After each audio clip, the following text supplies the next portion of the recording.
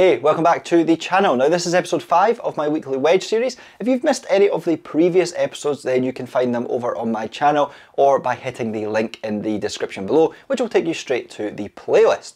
With the new golf season just around the corner, one thing I in particular am looking forward to is playing match play events and it's something that I've enjoyed over the past few years and I thought for this week's video I would share 10 of my top tips based on my own personal experience of playing match play. Now obviously I'm just sharing my own personal tips based on my experience but if you've got any other tips that aren't covered in this video that you think people would love to know then make sure you drop them in the comments area below and whilst you're there be sure to hit those like and subscribe buttons if you haven't already done so. So tip number one is to be aggressive from the outset. When I play match play, I tend to opt to use my driver more than I do other clubs because what I'm looking to do is get the ball as far down the hole as possible and I don't like to try and hold back. So if I'm playing stroke play, for example on our first hole at my home club, I'll usually play an iron to the centre of the fairway which leaves about 120 yards into the green with my approach shot. However, when I'm playing match play, I'm playing one hole at a time and I'm not trying to protect a score or play in a wider competition. So I'll always opt for the driver on this hole to give myself as good a chance as possible of getting way further up the fairway and just leaving a short wedge into the green. Now on that hole there is a bit more danger but it generally makes more sense when you're playing match play and playing one hole at a time to be a lot more aggressive where possible. I also think it signals your intent to your opponent from the outset. If you're standing there with an iron in hand and you're looking to play safe, your opponent's going to be all too aware that you're maybe not feeling confident or comfortable and they're going to capitalise. So on that first hole, just make sure you grab the driver. Of course, obviously if it's a par 3, that's probably not going to be a sensible choice, but be aggressive from the outset. Tip number two, play smart. Now, although in tip number one I talked about being aggressive from the get-go, it doesn't mean that you need to be reckless. If, for example, you're playing and you notice that your opponent is maybe in trouble, let's say, for example, on a par 5 they have put their ball out of bounds off the tee, then capitalise on this. Make sure you pick a club that's going to keep your ball in play. It's going to put so much more pressure on your opponent if they know they need to find the fairway with their third shot off the tee because you're already on there with your second shot. Again, when you're trying to approach the green, if you've got an extra couple of strokes to play with, either through extra strokes that you've been given or the fact that your opponent is out of play, then just make sure you can get to that green in regulation and give yourself every chance of winning the hole. If they've lost a ball from the tee, that is the perfect opportunity for you to be smart and make sure you get your ball into play. Tip number three, make sure you practice your putting. Now, if you are playing a hole early on in your round and your opponent gives you the putt, let's say for example it's a couple of foot away and they say, yeah, just pick up, that's good. Always pick up, but then put the ball back down and practice a couple of putts to that hole. I specifically remember the first time I qualified for the knockout stages of the club championship and the opponent I was playing gave me two two to three putts in the first two holes. By the time I got to the third hole, I then had a putt of just over one foot, and I was ready to pick my ball up because I expected to be given it. However, my opponent didn't give me the putt.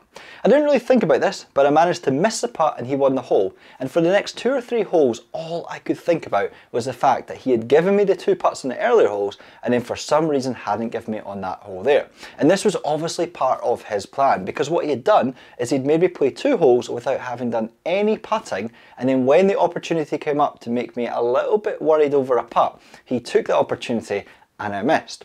So something that I have always done since is if I'm given a putt, I'll always drop the ball after the hole has been finished and I'll make a few putts from that point just to keep the putter going and to practice those putts. So this is something that completely caught me off guard. I didn't think people would play like this or do this, but this is something that happens quite a lot. So in the future, if you're playing and you're given a putt, just make sure you pick the ball up and then put it back down and make a couple of strokes from that location. Tip number four, make your opponent putt everything.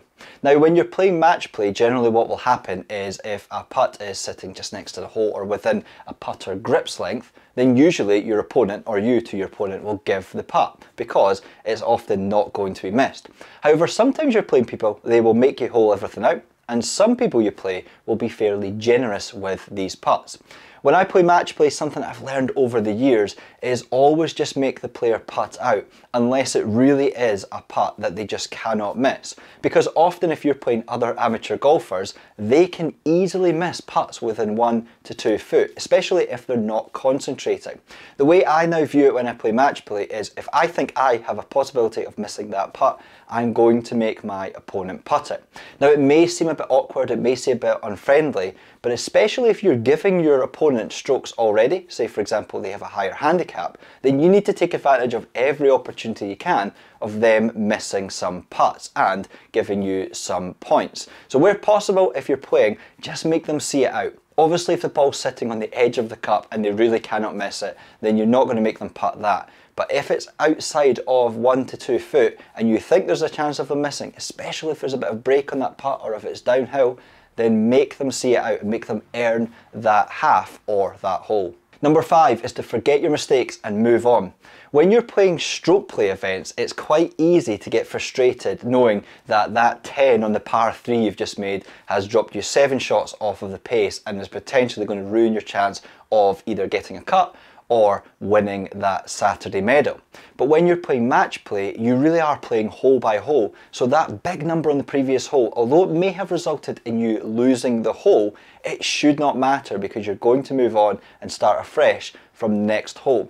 It's really easy when you're playing to get bogged down on making mistakes, losing golf balls, or for maybe finding the bunker when you shouldn't have and losing a hole. But you need to forget it and you need to then move on to the next hole with a fresh outlook on that hole. Otherwise, it's just going to compound the error. So you'll just move on from one hole to the next, feeling down, feeling upset, and the chances are you're probably going to start losing more holes. So if you have a bad hole and you lose it, forget about it, move on to the next hole, regroup, and hopefully go ahead and win that point back. Tip number six is to play your own game. Now it's quite easy when you're playing one-on-one -on -one match play to see what your opponent's doing and try to follow. They might take the driver off a tee when you normally only hit a three wood or an iron. They may take an iron when you've got a driver in hand. Don't allow what they're doing to dictate how you play your round. If you've got a game plan, stick to it. You may need to divert a little bit depending on what the score is like, but don't let what they're doing dictate what you're going to do. If you are comfortable with hitting a 7 iron and you catch that they're hitting an 8 iron or they've gone a little bit long or short or whatever,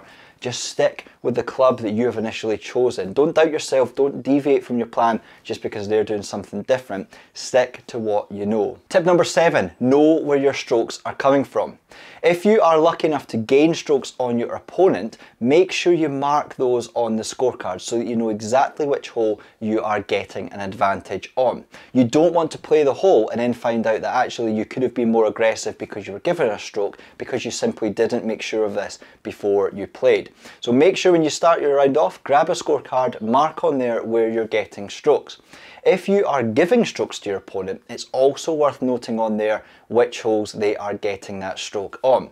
They likely won't tell you when they're teeing off that they get a stroke in that hole, and there's nothing worse than when you complete a hole and you think you've halved it or indeed won it, only to find that you've actually lost or half that hole because they were getting an extra stroke.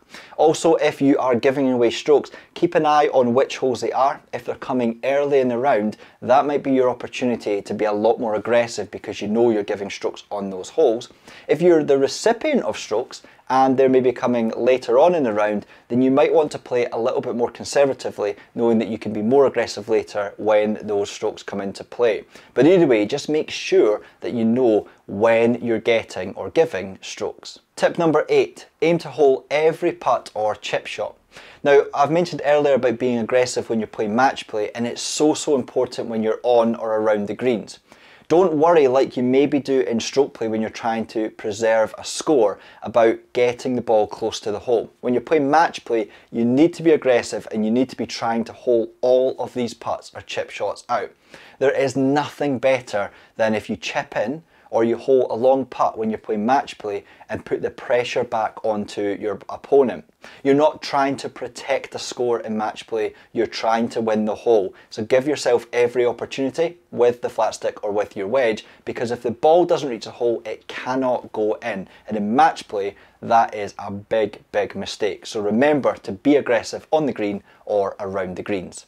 Tip number nine is to either slow down or speed up depending on your opponent. Now, I'm not really one for generally playing mind games with people, especially during match play. It's not really what I'm into. But one thing I do normally do is I'll have a look at how my opponent is moving and I'll try to do the opposite. So if my opponent is quite slow and methodical in everything they do, either pre-shot, during the shot, or when they're walking between holes, I will purposely try to speed things up. So if I notice they're walking really slowly, I'll speed up that little bit to try and get them to move quicker. Likewise, if they are very, very quick at doing things, I'll purposely try and just slow things down. So it might be that I take longer between holes. It might be that I, you know, stop a little bit more often to check my yardages or maybe make a couple of extra practice swings. And all I'm doing there is just trying to knock their rhythm out of time. Now it's one of these things I don't like really playing mind games, but this is something that I do quite often when I play match play. And I've definitely found that I have seen a change in my opponent after I've started to do it. So it's not too difficult, just assess how they're moving, what they're doing, and then just try to do the opposite. The final tip, number 10, is to make sure you never give up. Now you're probably taught this in anything you do in life, but it is so, so true when it comes to match play. The match really isn't over until that final putt has gone in and you have either won or conceded the match. What you'll find in match play is it will move from player to player, the momentum shifts quite easily, and even if you're maybe three or four down with only five holes to play, you're not out of it yet. All it takes is for your opponent to have one bad hole that can easily carry over to the next hole. You can get a bit of momentum on side. There might be some holes coming up where you get strokes or there may be holes that you tend to play quite well and you can have every opportunity to turn the match around and win. You've also got to remember if you are up in the match heading into the last few holes, you need to remain focused because it isn't over until the end and it's quite easy to become quite complacent if you have a rather sizable lead. So just keep plugging away, keep thinking your shots through, keep trying to avoid making mistakes, remain aggressive if you have to until that final putt is sunk. So there you have it, those are my top 10 tips for match play success. Of course, those are just based on my own personal experience of playing match play, but if you've got any other tips that I've maybe missed from this video, be sure to drop them in the comments area below so that other people can benefit from them. If you enjoyed this tip video and you're looking for some tips to help you reduce your handicap, why not check out this video here in which I share the methods I used to bring my handicap down from 22 to 7.